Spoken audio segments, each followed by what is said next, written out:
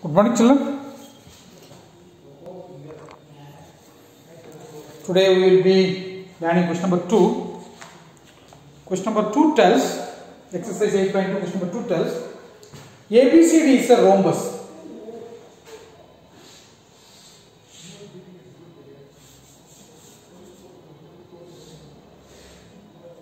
ABCD is a rhombus, meaning all the sides are all the sides are equal. Next, what is given? P, Q, R, S are midpoints of side ABC. P, Q, R, S. P, Q, R, S. They are the midpoints. So, uh, of ABCD, okay. So that quadrilateral PQRS, PQ, quantity P, Q, R, S. P, Q, P, Q, R, S. You have to prove this is a rectangle. Is a rectangle. Okay. Answer is bit lengthy, so listen carefully. Okay.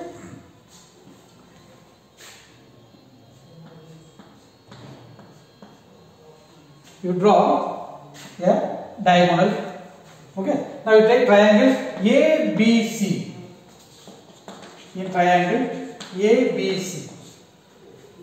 Triangle ABC.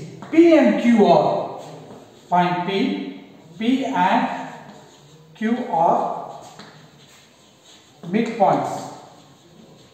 Midpoints of midpoints of what? AB and AB and BC. AB and BC.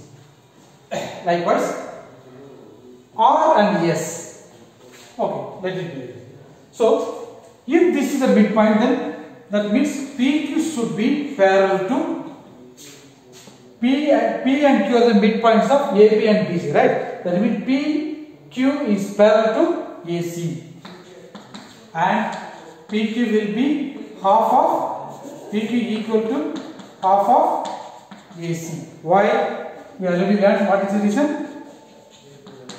Midpoint, midpoint theorems.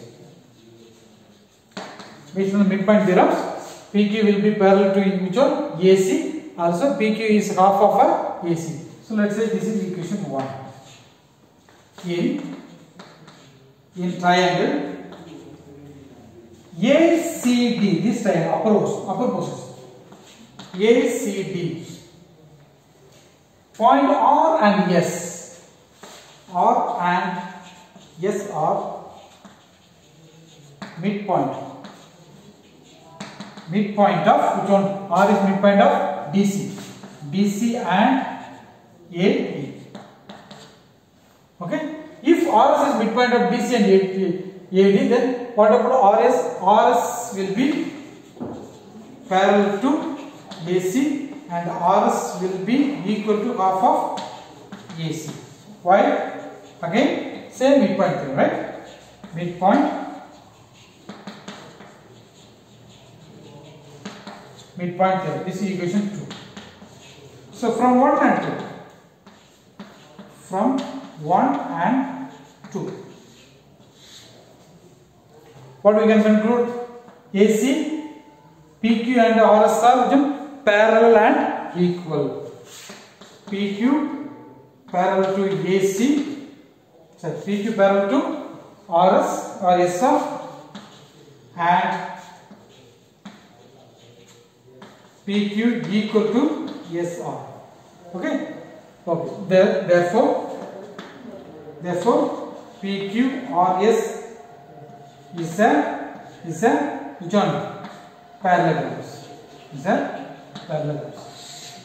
Since opposite sides are parallel and equal, then it should be a parallelogram. Okay. Now, but what are they asking is PQRS is a rectangle. Rectangle means you have to prove 90 degree. Rectangle means what? That this angle should be how many degree? 90, all the angle on 90 degree to prove. How to prove? In triangle APS, APS and triangle QCR. These two triangles are going to prove. Okay? AP equal to CQ. AP equal to CQ. Why? Both are which one? Midpoints, right? P and Q is a midpoint. AB parallel equal to CQ, P and Q are the midpoint, right? So it's a, we can write given. Then what about AS and uh, AS and CR? This also because it's a midpoint, right? So it will be uh, which one equal. Okay, then one more point we have to put on. SP equal to SP equal to one? QR. SP and QR are equal. Why? Opposite sides of opposite sides of one? Parallelograms. Opposite sides of parallelograms are equal. So therefore, uh, triangle APS APS concurrent to triangle which? C one? CQCR QCR. They are con if they are congruent, angle 1, let's say angle 2. Angle 1 and 2 is equal or not? Angle 1 and 2 will be equal. Why? Oh, what, is the reason? Side, side, side congruence. All the three sides. So, CP, CT. CP, CT, these two triangles are which are the angle 1 and angle 2 are equal. Space is not enough. So, I am going to clean this portion. Okay? Uh, you can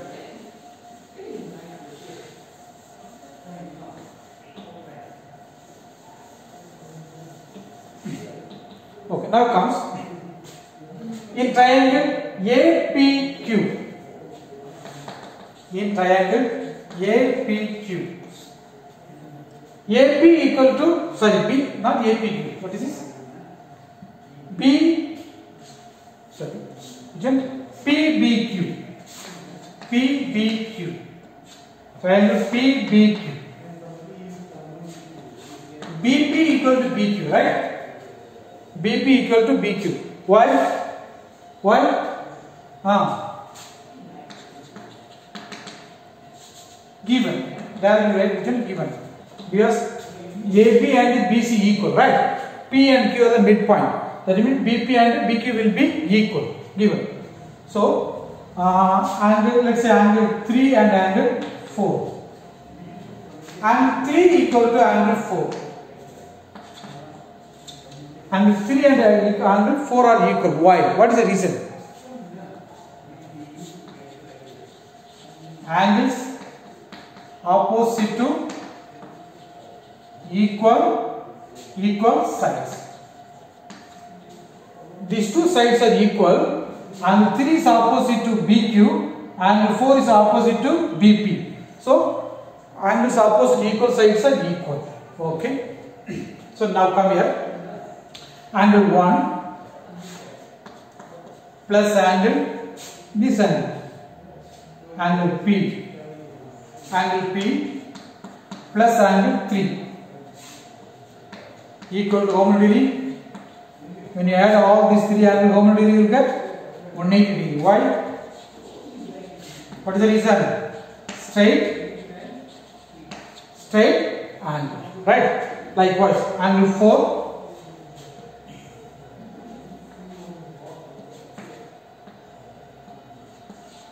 angle 4 and angle angle q this angle. Angle q plus angle jump 2 also only 180 degree again what angle straight angle is or not straight angle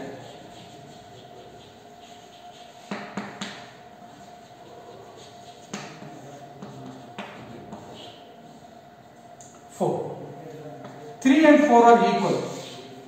3 also 180 degree, 4 also already 180, 3 and 4 are equal. So, angle 1 plus angle P plus angle 3 equal to angle 4 plus angle Q plus angle 2. So now, both are equal to 180. Now come. Angle 1. Let it be angle 1 plus angle P plus angle 3 equal to 4. 4 and 3 is equal, right? Angle 4 and 3 is equal. So in place of 4, you can write out angle 3 plus angle Q. 1 and 2 is equal. 1 and 2 is equal, already we have proved. So in place of 2, what you can write? Angle 1. So angle 1, angle 1 cancel, angle 3, angle 3 cancel. P equal to Q we got it. P equal to Q we got it. now, I'm going to print, okay?